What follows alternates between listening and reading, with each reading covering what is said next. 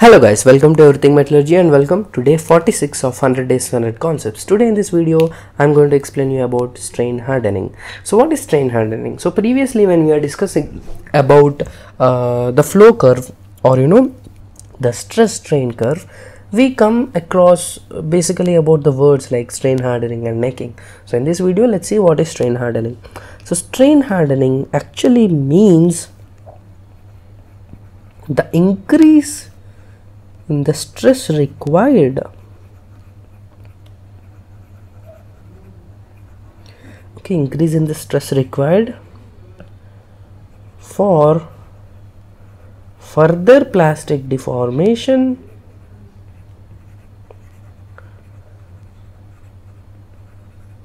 Due to the previous plastic deformation. I think this is looking like some tongue twister but no it's easy. Let me explain you. So strain hardening means increase in the stress required for further plastic deformation that has to take place. And why this is happening? This increase in the stress is actually taking place because of the plastic deformation which is already done by the body. That means let's take this particular curve. Stress strain curve. Okay? So we know this curve will look something like this right. So here you have some yield point somewhere here where you have 0.2 percentage offset. Correct? 0.2 percentage strain offset. And this is actually my yield strength. So as you see after yielding the strain i mean for further strain to be produced the stress values is actually going on increasing until the uts so this is actually happening because of the previous plastic deformation which is already done. So let's say somewhere here the plastic deformation is starting. Okay? Not starting remember already some amount of plastic deformation is already done in the body which is 0.2 percentage of the total deformation right? So because of whatever plastic deformation that has taken place let's say in this particular region there will be some force that is opposing my slip. That is opposing my plastic deformation. So due to that opposing force we have to overcome it definitely in order to strain in order to deform the body to more extent. So for that reason the stress values are increasing. That is what is the statement explaining you. Increase in the stress required for further plastic deformation to take place due to already done previous plastic deformation this phenomena is basically called my strain hardening right? Now okay fine. Uh, until now i hope you understood what is strain hardening. Now why strain hardening? Why is this taking place?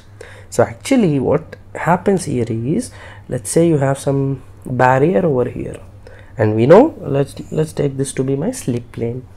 What is slip? Slip is nothing but dislocation movement correct dislocation if it is moving we say it slip and this slip is the basic phenomena required for plastic deformation. Correct?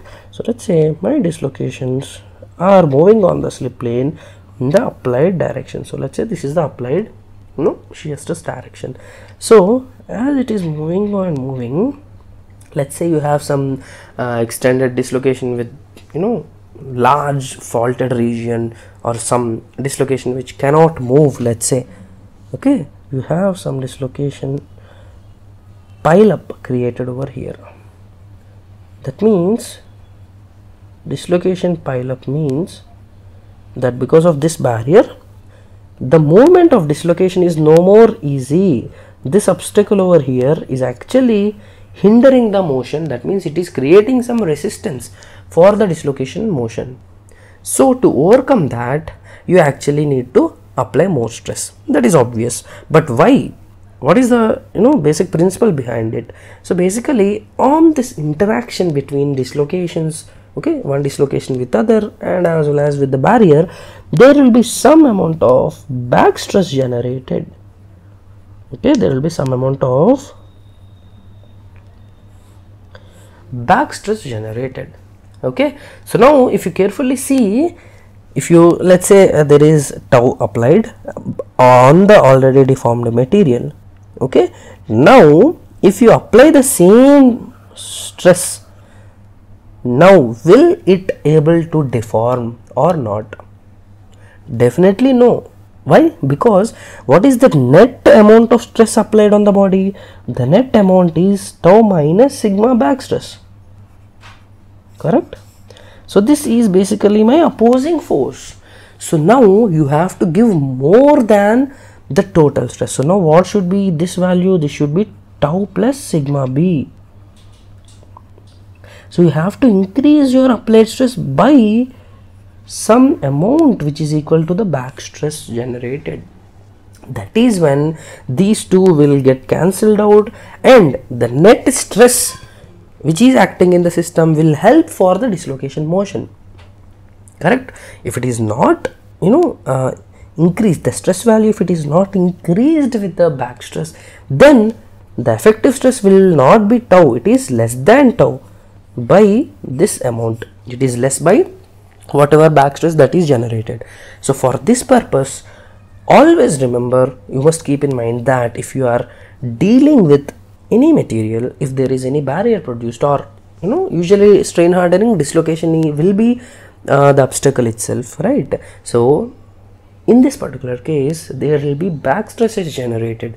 So because of these back stresses the amount of stress that you have to put on the body has to be more than whatever you gave previously why we have to increase? Because the net stress level the net force that you are giving onto the body must be enough for plastic deformation. Okay? So that is the reason why you see there is this increase of the stress values. And this increase is because of the back stresses generated. Okay? So this increase is due to the back stresses generated. And that's why the applied stress should also be increased by the same amount. Then only the net stress will be there and your plastic deformation will be continuous. Okay so i hope you understood what is strain hardening okay so this is some basics. Why?